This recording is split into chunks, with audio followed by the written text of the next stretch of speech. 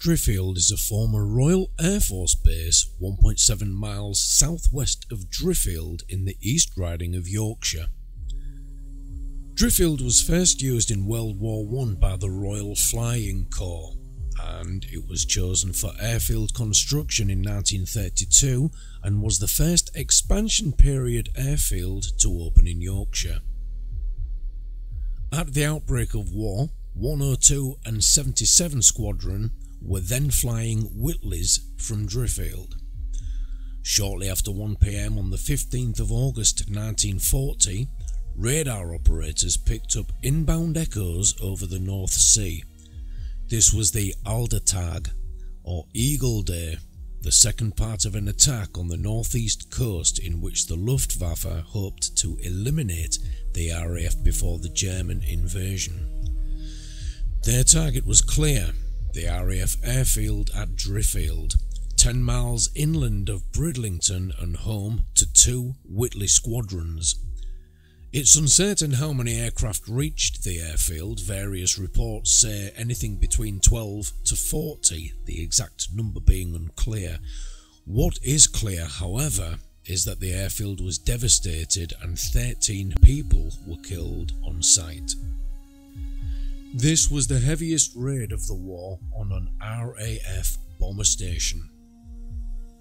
The station reopened as a fighter base until April 1941 when 104 Squadron was formed on Wellingtons.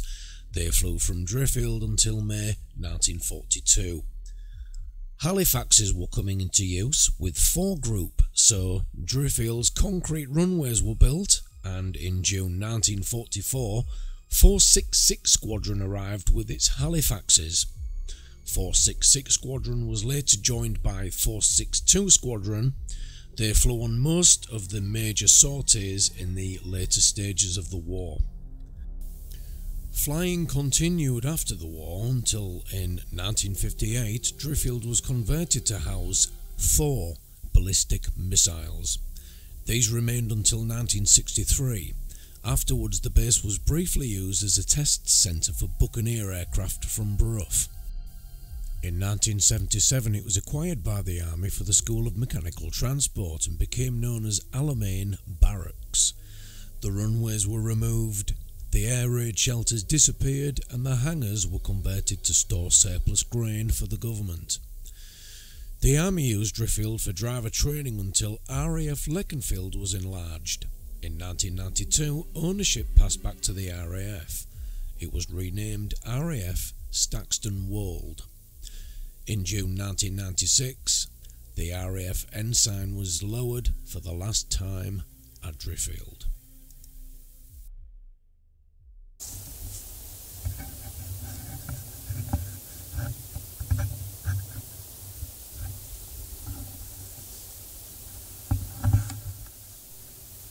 So here we are, um, RAF Driffield in all its resplendent glory, looking very, very spooky indeed.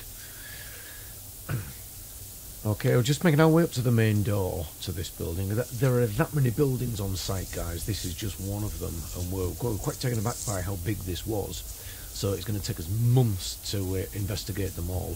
Is it funnily enough that, yeah, yeah, there's an owl in that tree back there, and it sounds like a human doing a bad impression out of an owl, which is really off-putting. Anyway, Mark's inside. Uh, let's take a trot inside there, see what he's up to.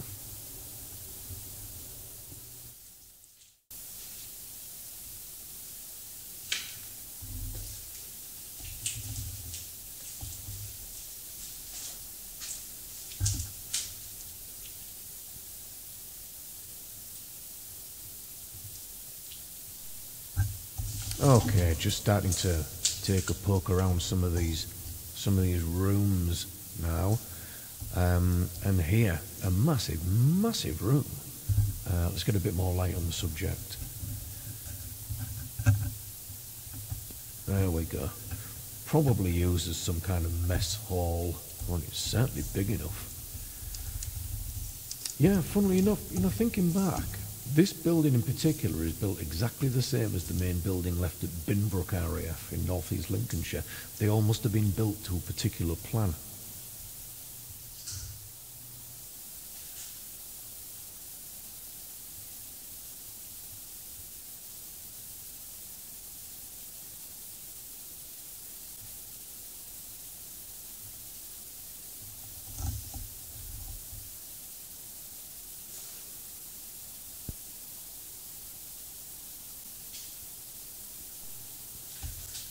Did you see it? Just on the floor. Okay, I'm going to highlight this in a freeze frame. We've come across this phenomena before, and we in PSI call these energy bursts. It's a small flash of light accompanied by a pop or a crack. It was a crack in this instance. Let me play the video again. What do you think?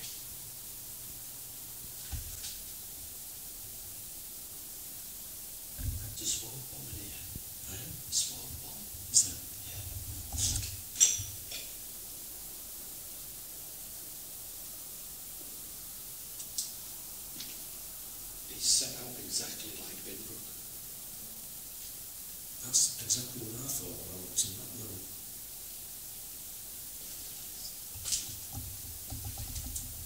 But there's no basement. There should be a basement there, shouldn't there?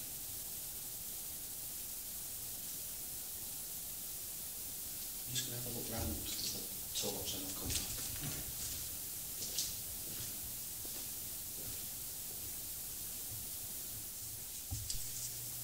After having a look around the lower floors myself, I decide to make my way down the corridor that Mark went down. Apparently, he was looking for the cellar.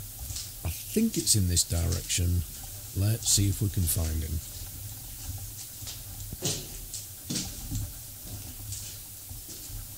Where are you,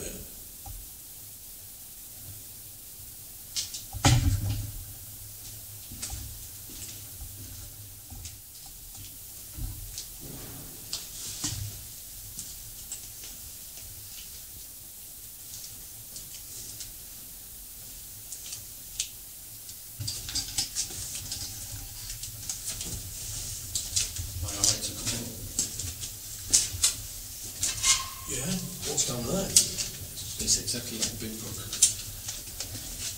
Set out the other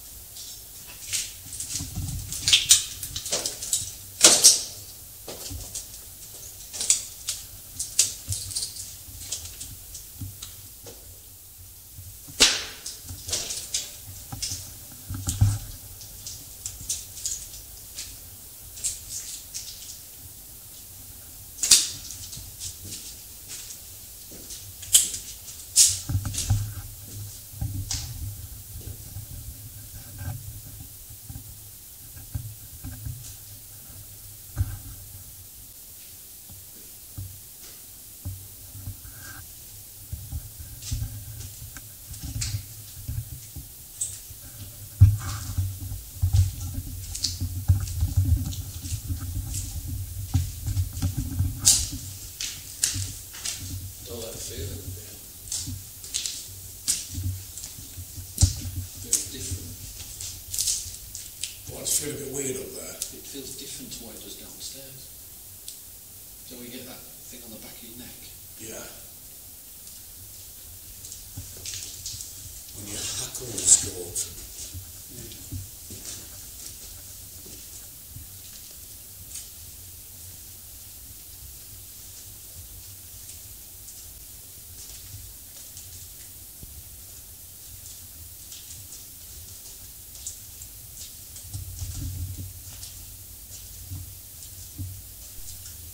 It's roundabout now. We decide we've done enough exploring and we want to do some investigating. So we're looking for an appropriate room, and I think we just found one.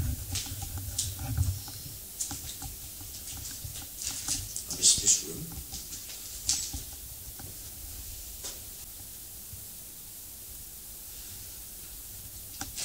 It kind of looks like it's way, way more recent than that. I mean, there's a, there's even a bath in one piece in the washroom. I was quite surprised at that. Yeah, it's, it's this isn't as accessible as Binbrook though, is it? No, no, it isn't.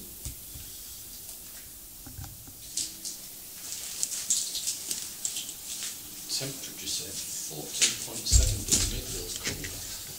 It does feel colder. Feels very fresh.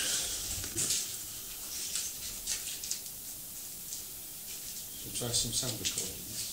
Yes. Let's do it.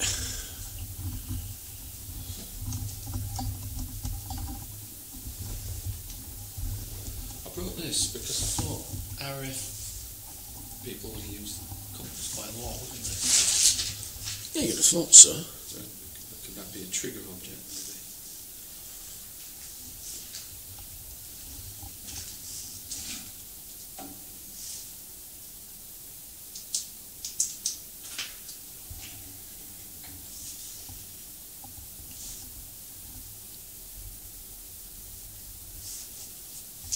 They've even left us some handy little cupboards to pile stuff in.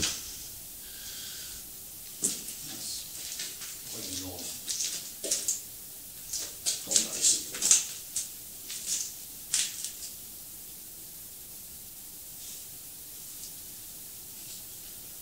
Look at yours as well. Jar. So three, two, one. Is it anybody with us in this room in spirit? Can you communicate with us? Can you tell us what your name is or what your rank number is? Thank you.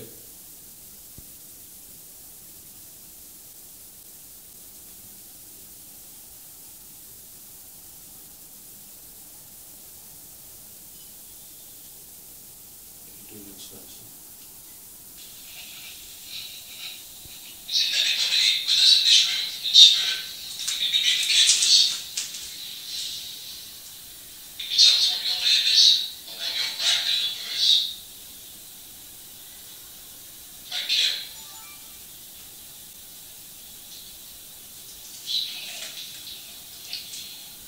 Is that something at the end? Good. Yeah. Something. I did hear that, actually.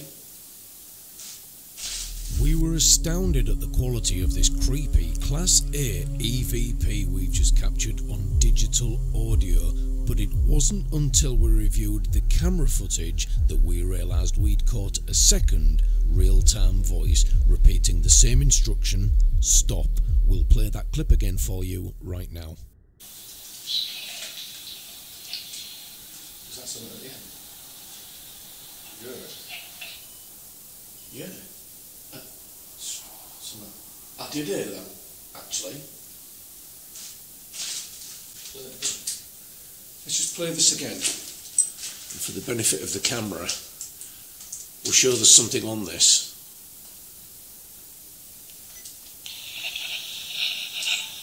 Is it anybody with us in this room in spirit? Can you communicate with us? Can you tell us what your name is or what your rank number is?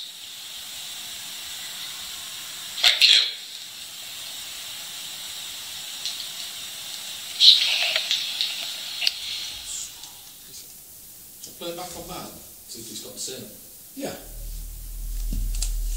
At this point, we decide to review the footage on Mark's digital recorder to see if it's documented the EVP.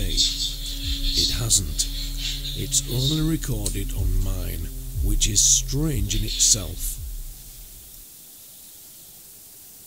It's not on mine. Is it not on yours? No, it's not on. Wow. Okay. Fantastic. Let's do some more. We'll set them recording at the same time again. Turn. Three. What was that? It was some out there, I can't remember the distance. What was that? No, no, I think it was out This loud click was a sound that emanated inside the room that I simply hadn't heard at the time. I tried to put it down to traffic noise in the distance that Mark was hearing through the window. Upon reviewing the video, it definitely was not traffic noise. Can you please tell us what your rank number is?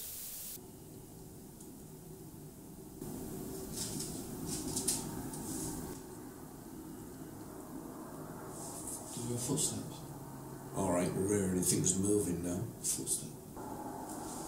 So when we asked that, just for the camera, we heard footsteps. I was looking at Tony, he was looking at me. Neither of us were moving. There was footsteps over there. From where Tony's camera is just in the corner there. In this clip, you can clearly hear the leaf litter under my feet making exactly the same noise as the ghostly footsteps we just heard. Let's play them back. So you that was just telling us the story.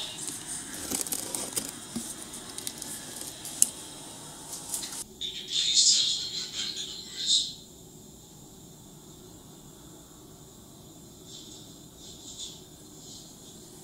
It's picked them up. As we're filming down there. Was that was there something out there? What, did he hear something? I thought I heard another footstep, yeah.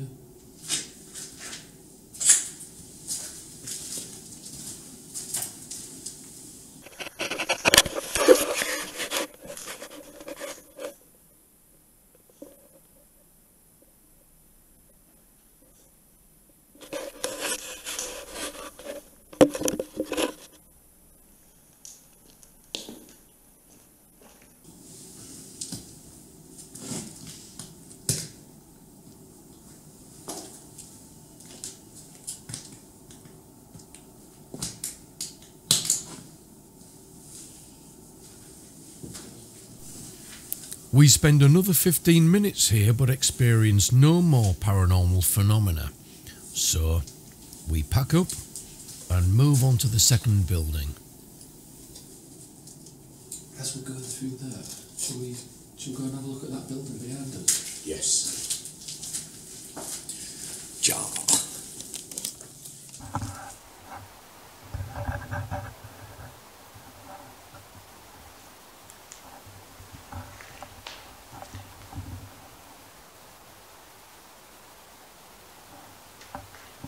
Okay, so we're in one of the outbuildings, um, just adjacent to the main building.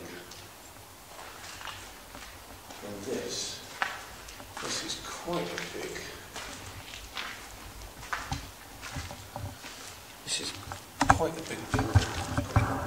It's an old heater. Have a look at it.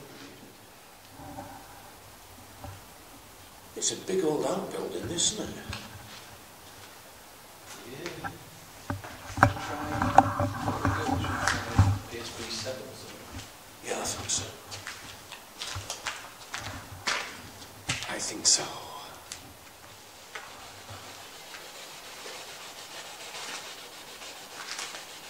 So we'll just do um, a quick ghost box session before we go, see if we get any voices. Is anyone in spirit with us? Can you communicate through this device, please? Can you give me your rank?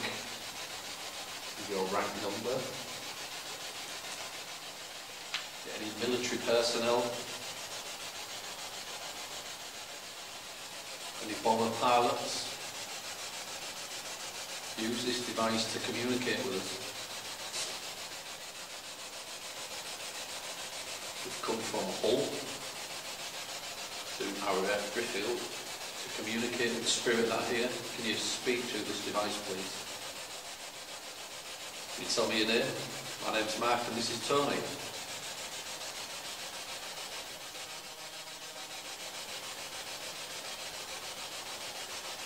Can you tell me your rank?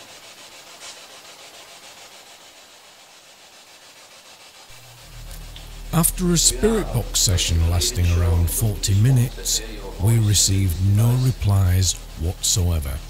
That's no replies on the spirit box, no words, nothing, which is unusual in itself. So, as time is getting on, we decide to call it a day for part one of our investigation of the Driffield site.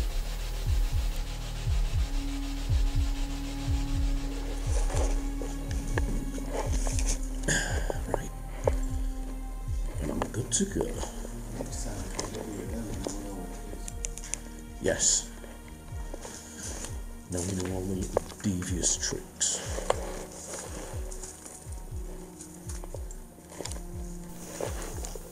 We sincerely hope you've enjoyed part one of our investigation of the disused Driffield RAF base. Look out for updates. More investigations of this place are on the cards, hopefully documenting more ghostly phenomena.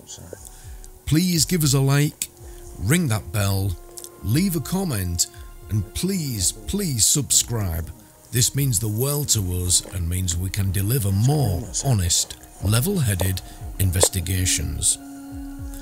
We'll bid you farewell for now, but always remember, guys, the paranormal just got real. That is pretty damn good, isn't it?